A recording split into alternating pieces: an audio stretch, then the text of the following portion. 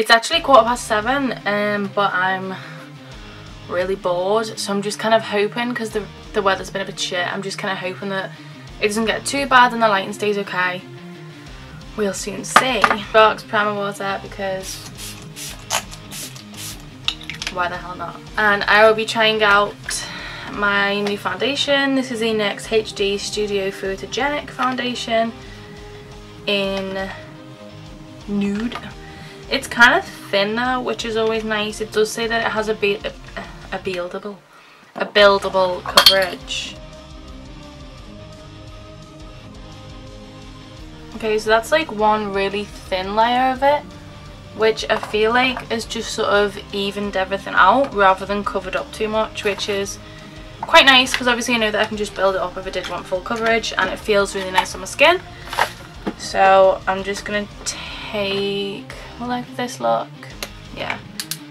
Some concealer as per usual. Just to make it look like I have actually slept. The weird thing is that like today, since getting Nemo I've kind of been up at like half five every morning because he chooses then to make as most noise as possible. Um, but today I actually slept. So I don't know if he was being good and decided not to make any noise, but that was nice. So I'm just going to use a little bit of an old MUA powder just to set underneath my eyes. I don't really want to do too much to the foundation. Apart from my upper lip because it's kind of sweaty. And then as this is sort of like a gothic inspired look, um, I'm just going to be using, this is the Sleek Sahara like blush, but works quite well as like a noticeable contour. But I will be blending it upwards. You'll you'll see. You'll see what I'm doing.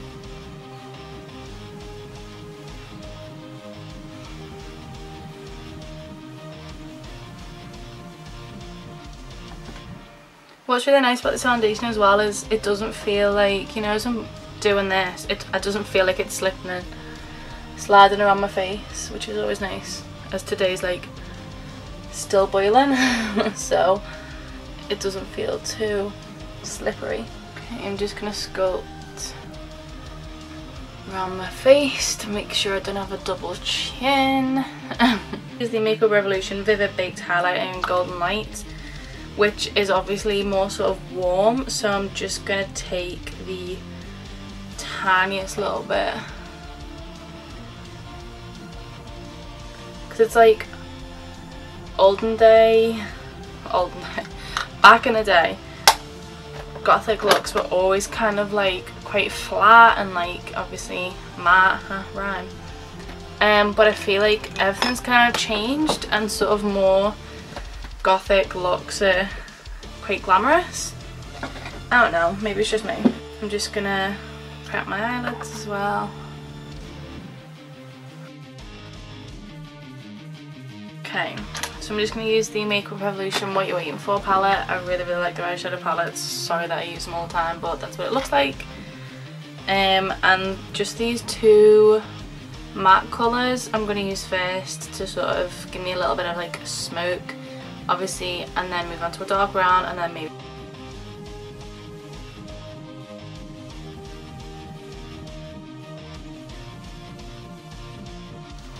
Okay, so that dark brown is just kind of going more concentrated in what I would like to think my crease would be. but obviously with hooded eyes it's kind of difficult. Alright, so once you've got sort of like a shadow, you want to go in with more of a precise brush with the black because you don't want like a full on smoky eye. Well I mean you can if you want to but for like sort of everyday kind of wear you don't want to be, I don't know, maybe you do. I, I don't judge but whatever. I'm just going to stop talking now.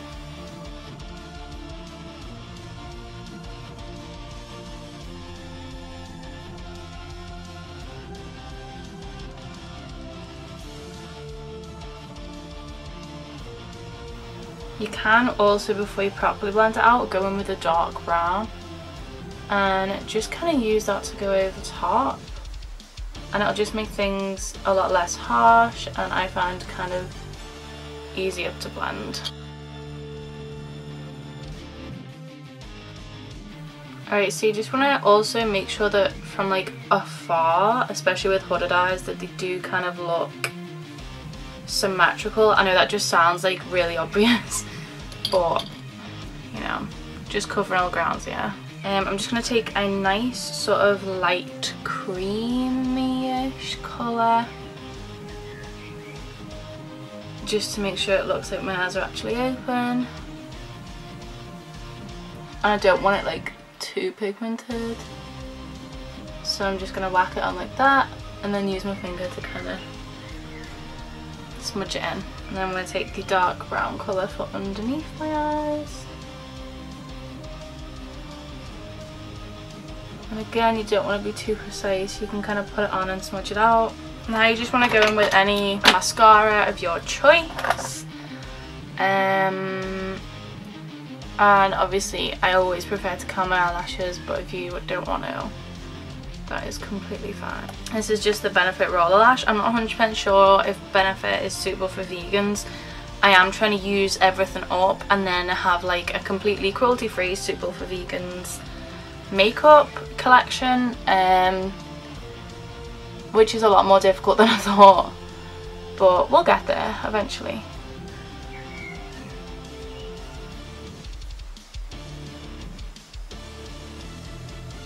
Kind of back in a day, I don't really like to say that because I'm 19, I'm not like 60 but I found that like gothic sort of eyebrows were quite thin and like really dark whereas now they're more just sort of precise and angular. Still dark obviously um, but it's kind of just like my natural eyebrows but making sure that I actually pay attention when I do them. So this is just the Anastasia Dip Brow in dark brown. I'm just kind of gonna make sure it's more pigmented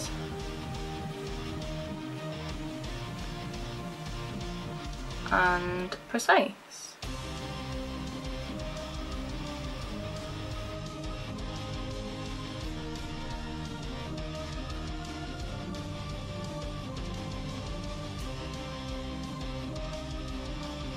I feel like doing my eyebrows is just like fighting a losing battle. Like no matter what I do, just never turn out right. Now for the whole reason that I actually filmed this it is the NYX Liquid Suede Cream Lipstick in... Oh... Shit. What colour is that? I don't even know what colour it is. Is it Stone Fox? Is that, is that the colour? Maybe.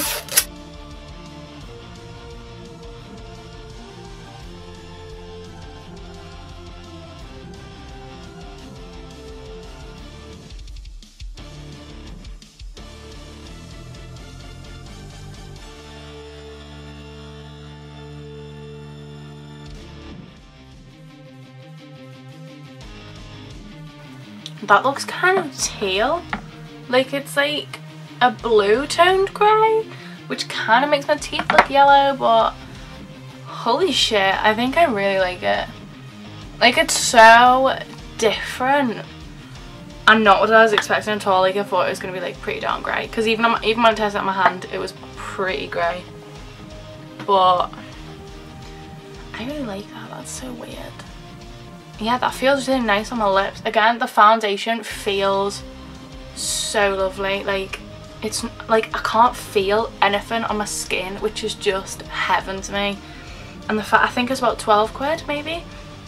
So same price I believe for my body shop one. I think it might have gone up by like a quid. Obviously I used to use like the Giorgio Armani the Illamasqua which are all like 30 odd quid. So it would be brilliant if this stays on well so fingers crossed. Ooh, this is how the look looks without any glasses on. My nose looks really fucking massive though when I have no glasses on. Anyway, see you next time. Bye!